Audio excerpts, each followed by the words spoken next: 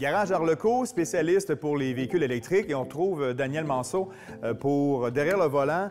Première grande différence lorsque tu conduis un véhicule électrique ou une voiture ordinaire traditionnelle, c'est quoi la plus grande différence?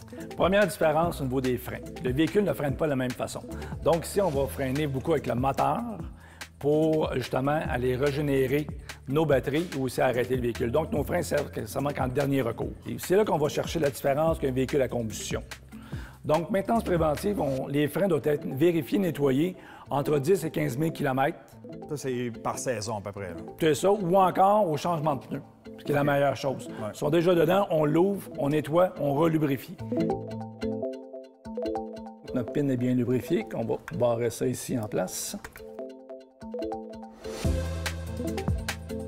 Très important pour la purification d'utiliser une graisse qui va être synthétique, qui est de basse température et de haute température aussi, donc qui est résistante. On ne peut pas mettre une graisse régulière ou un anticise sur un véhicule électrique.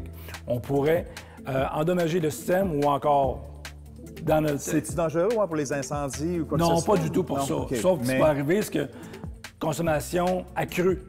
OK d'électricité versus pour avancer avec le véhicule. Parce qu'on va toujours avoir une friction constante sur les freins. Avec un produit comme ça, on élimine la friction et on est sûr d'avoir le bon produit.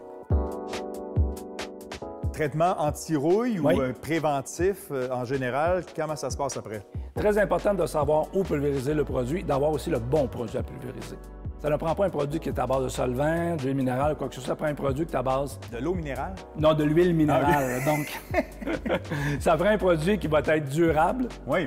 et sans agent à l'intérieur toxique. Sous le véhicule aussi, la même chose. Donc, la purification vraiment très précise au niveau des endroits à faire. Très important pour les ateliers, ne pas en mettre sur les câbles, les câbles orange aussi, la plaque de batterie également.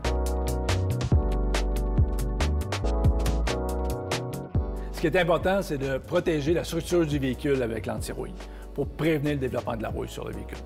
Ça, c'est en enlevant tout ce qui est protégé ici. Exactement ça. Donc, on enlève les panneaux, on pulvérise aux endroits précis.